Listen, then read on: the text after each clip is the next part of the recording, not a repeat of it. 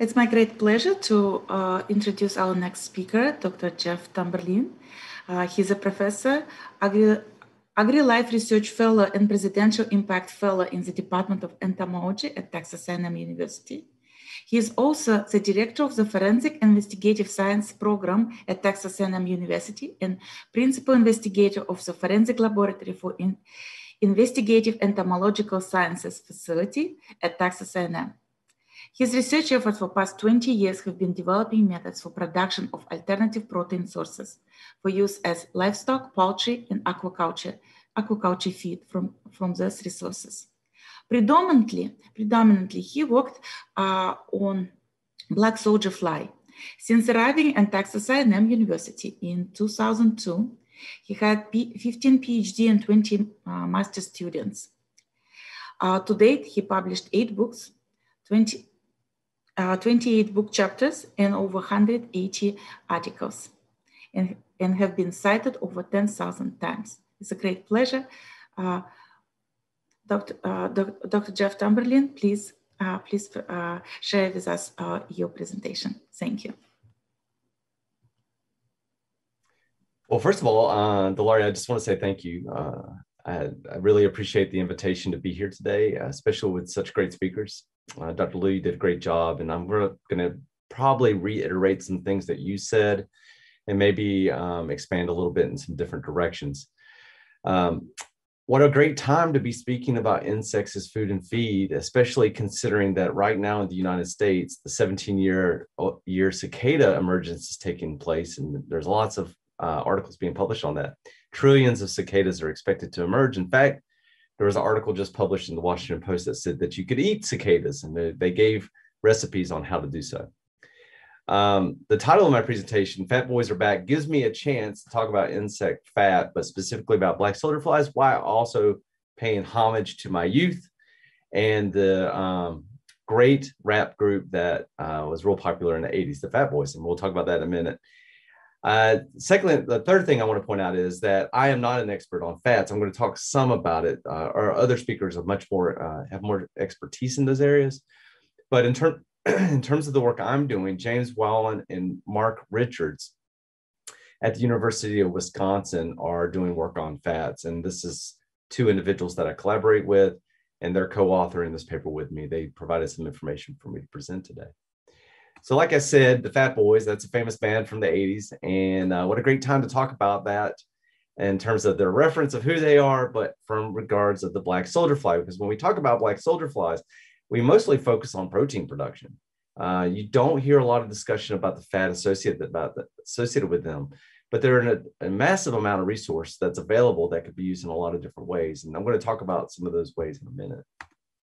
So this is the adult black soldier fly, Hermetia illucens. Um, this fly originated from the uh, South America area and it's expanded throughout North America. And through globalization, it's now um, throughout the world. So wherever people are, basically this fly is present. Uh, the larvae are really where we want to focus our effort because uh, these larvae can be quite high in protein and fat, and you can produce a lot of them very fast. And, you know, when we talk about insects as food and feed, I'm sure a lot of you are thinking, but can you really produce it at a level that can really be engaging as a commodity around the world?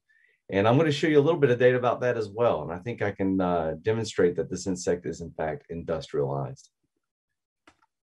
So why are we doing it? So this was brought up in the presenta- previous presentation. I'm going to emphasize it a little more. The main point that we're focused on is we got one world in which we live. We have limited resources, but our human population is growing exceptionally fast.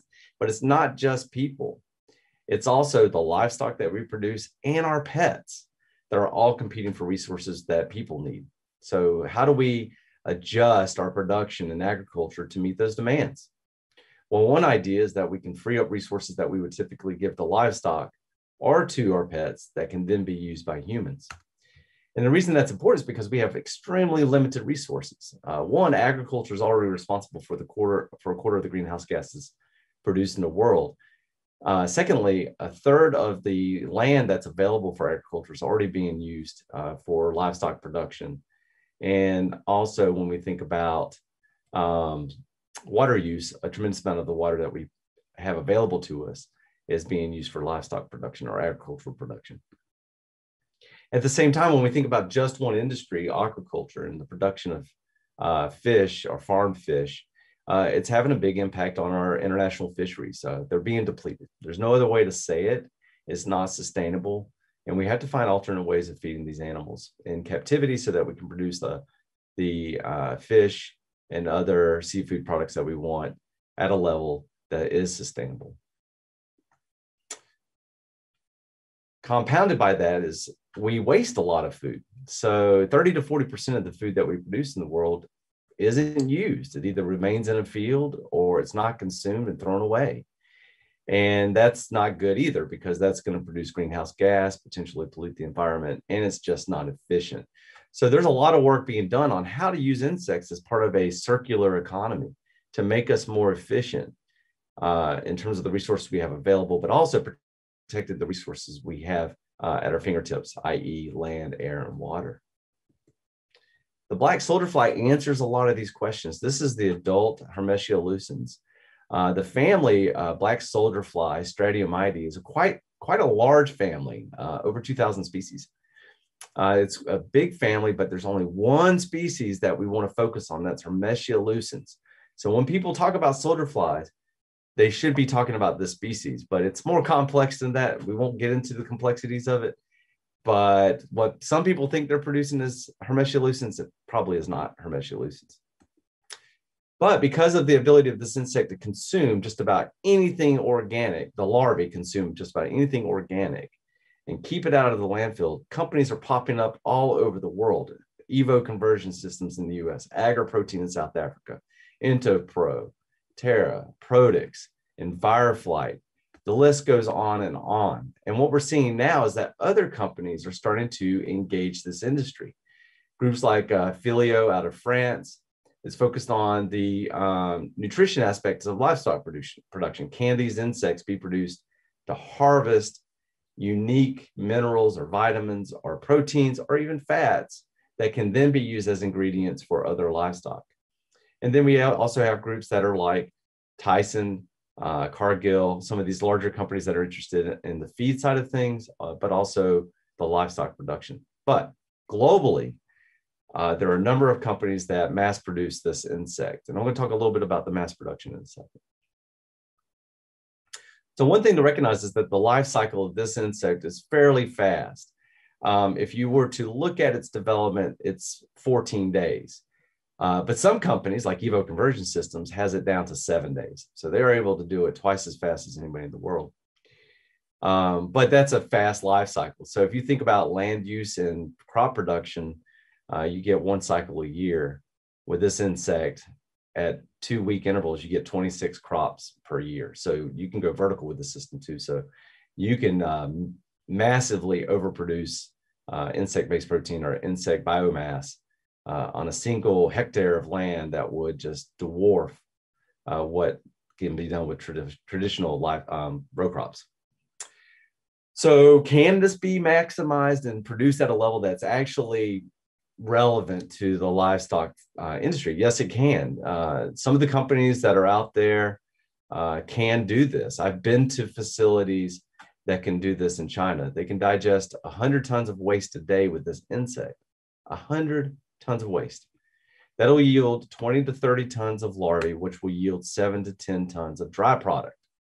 If we assume that 50% of that is protein, then obviously you can do the math, three and a half to five tons of insect protein per day. And the same could be said for the fat as well. But something that's really important about this insect is it's extremely sustainable. Um, because of the sustainability, the fact that it can eat just about anything that's considered quote unquote waste uh, is a huge boon for the use of this insect. Secondly, it's not known to be a pest species. This fly is very short lived. It lives to mate and lay eggs and then it dies. It's actually quite beneficial. It digests waste and it kills pathogens such as E. coli and salmonella. It can break down uh, toxins like mycotoxins uh, so if we think about uh, aflatoxin in maize or groundnut or soy, um, think about how the black soldier fly industry could partner with traditional commodity groups. Uh, they can take the black soldier fly can be used to digest and remediate and recycle contaminated products to produce products of value. Because of its benefits and its use and the fact that it is not a pest, it is uh, actually approved for use as a feed ingredient in the United States. So AAFCO, the regulatory body in the US, has approved it uh, for use in poultry, swine, recently with pet food, and of course with aquaculture select species. So in the United States, this insect is the only insect that's approved across the board for use across these categories. So you can mass produce it as long as you follow the guidelines of AAFCO and you can use it as a feed ingredient. Uh, this can be used at, to a certain level. It's been approved in the EU. It's also been approved in Canada, Australia, and pretty much the rest of the world for these uses. So it is definitely globalized. But as I mentioned, most of the work is really focused on the protein side of things. So this insect, depending on what you feed them, and we'll talk about tailoring the insect and producing it, um, is mostly focused on the protein side. But again, it, a large part of it is fat. And the reason being is that the adult doesn't need to feed. So it really relies on the fat it accrues during the larval stage. So when it emerges, that's, that's the energy in its tank. So it has a large amount of fat in its body and it can vary depending on what you feed it, as Dr. Liu pointed out previously. The amino acid makeup of the insect is uh, pretty unique. Uh, the main two main uh, amino acids I wanted to focus on were lysine and methionine. It's exceptionally high in methionine, uh, which is great considering that methionine is synthetically produced. So for poultry, that's a huge boon. Um, it's it is lower compared to housefly, but housefly is a pest species. It is a recognized pest species. It's a vector for a number of pathogens. It likes to go in people's homes. So there's just not as much interest in mass producing it, but uh, it can be done. But the black soldier fly is high in these amino acids. As far as um, the uh, fat content, uh, let me change this real quick.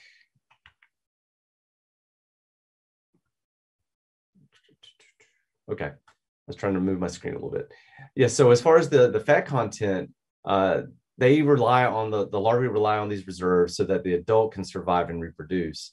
But overall, the body fat of the, the black soldier fly larva is 10 to 33% fat on a dry matter basis, depending on how they're raised. And that's critical because if you're feeding them waste, what you feed them will impact what they are. So you want to tailor the diet so that you can maximize the production of whatever fat content you're looking for, whatever type of fat you want. Uh, as a feed ingredient, uh, black soldier flies are often evaluated on that protein rather than fat. So a lot of these companies, they'll produce black soldier flies and they'll harvest the protein and then they're left with the fat. And you don't hear a lot of discussion about how they're using it. There is an interest in it, um, as previously outlined, and you're going to learn more about that. But how we use it is still remains to be defined. Uh, previously discussed, if you look at the uh, fatty acid profiles, uh, there's a number of studies that demonstrate that what they're comprised of can vary. Now, this isn't necessarily based on the genetics of the fly or the population specifically being tested. It is important. It really does come down to what you're feeding them. So when we look at the black soldier fly as a whole, the saturated fats form about 50% or more of the fat composition of the black soldier fly. So if this is an angle that you're looking at, this is what you're interested in, that's what a benefit of the black soldier fly would be. Uh, the unsaturated fatty acids dominated by two particular ones that were previously discussed. So again, these two fatty acids make up a large portion of what's in the black soldier fly. And again, as I've mentioned before, and just to reiterate the point, is that the fat is heavily dependent on the dietary fat. So, what is it fed? And we did some work back in the early 2000s where we um, fed black soldier flies fish offal. So, we mixed it with actual dairy manure. And we showed that we could manipulate the fat content of the black soldier fly. And I'm going to show that in a minute. But what we do know is that the black soldier fly can be used as a feed ingredient. So this is just an example, um, a few examples of where black soldier flies were integrated into the diet of uh, different animals. And what we see is that in most cases, like in this case uh, with uh, Jian carp, where they use black soldier fly oil as 100% replacement, we got they got similar growth patterns as you would see if you were using more traditional fat resources. So it could be served as a replacement to like soybean oil in that case. Uh, with broiler chickens, uh, using the fats, which we see is there's no dietary impact on final weight or daily weight gain.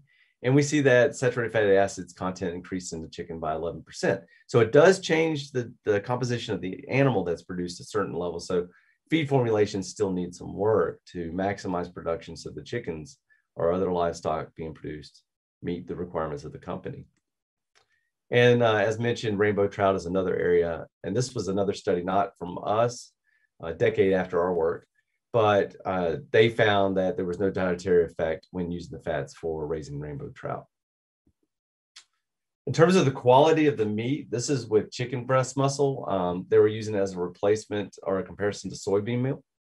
And you can see that they did different levels of introduction and there was no effect on the uh, color uh, and drip loss and pH were unaffected. So it did not affect the chicken uh, muscle in that regard.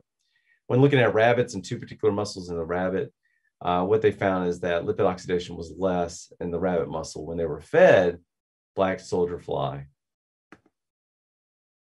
And then back with chicken muscle, um, this is just another study showing that there was no dietary effect when using black soldier flies as a feed ingredient. And just elaborate elaborate a little more, um, there have been some benefits associated with the health of the animals when fed black soldier flies. So it's increased their immunity uh, and it's increased feed conversion rates. So there are many benefits to using black soldier flies as a, a feed ingredient. Uh, this is part of the work that we did back in the early uh, the 2000s, where we looked at how to integrate black soldier flies into the diet um, of rainbow trout. And what we wanted to see is if we could tailor the insect to be a certain uh, nutritional quality. And what we found is that when we did include fish offal in the diet of the black soldier flies, we could enhance their fatty acid composition. And that's really fascinating because that what that means is we can really tailor a diet to produce an insect that we want. Uh, some more recent work that we did, and we're working on this paper right now, is we showed that we can use different fatty acids to manipulate not just their nutritional content, but their development time. So we can really tailor the diet, not just for tailoring the insect and what its quality is, but how it's produced. And in this case, we use different fatty acids. And what we showed is that we can change the duration of larval development. And that really affected the pupal outcome. So size is not everything. Um, in this case, we could change the size. This graph on the right is just showing mean pupal weight over time and age of the larvae. And depending on the fatty acids used, you could produce a bigger larva or a smaller larva, larva. But sometimes what that would result in is greater concentrations of select fatty acids. So in summary, um, the black soldier fly is approved for use as a feed ingredient. Uh, it's a growing industry globally, and it can be mass produced. Hundreds of ton, 100 ton of waste a day digestion is not unreal. Um, it's most work on black soldier fly is focused on protein production, and little is known about the fat. So this is what's great about this uh, opportunity today to talk about it is that there's just not as much known about it. Now, I want to shift gears real quick because if you're interested in the black soldier fly, if you're interested in insects mass production, I just want to uh, mention a little bit of work that we're doing. Uh, we're currently uh, forming what's called an NSF uh, IUCRC on insects as food and feed. And this is a partnership between IUPUI and Mississippi State University. And this is the website for the National Science Foundation program. And here's my email address if you want to learn more about it. But the way these centers work is they engage industry. So if industry, if you're paying, if you're watching this and you're interested in learning more about the industry and you want to partner, uh, it's low investment, high return. I'd be glad to share with you information about the center. It is a great opportunity to train people to work for your company. And it works across the systems. We're working with black soldier fly, mealworm, and cricket, and other insect species as well. And this is a list of the companies that have committed to being part of the center right now. And uh, we plan on having our first meeting in the fall. And if you're interested in learning more about it, send me an email. I'll be glad to tell you about it with that, thank you very much.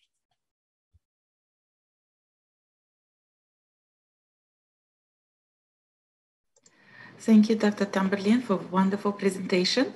Uh, we have time for a few questions. And the first question uh, is, are the toxic factors detected in such fats since they are fed on waste? So I'm going to speak more when we say toxic or toxin. Uh, what we know is that if you feed them a waste that has like aflatoxin, they'll break it down and it's not in the insects. They, they can actually degrade it. Heavy metals are a concern depending on what you feed them because it will accrue in their exoskeleton, but that's in their exoskeleton, which means that you could squeeze the the insect like a grape, harvest the protein, and do different things. So as a bioremediator, black soldier fly could be a good way to use it. We've used this for a variety of different things. I could tell you about work we did for Department of Defense where we were looking at bioremediation of toxic landscapes. So black soldier fly can do it, but you definitely want to test and follow protocols on quality assurance. With bacteria or pathogens, they kill E. coli. Black soldier fly will kill out E. coli.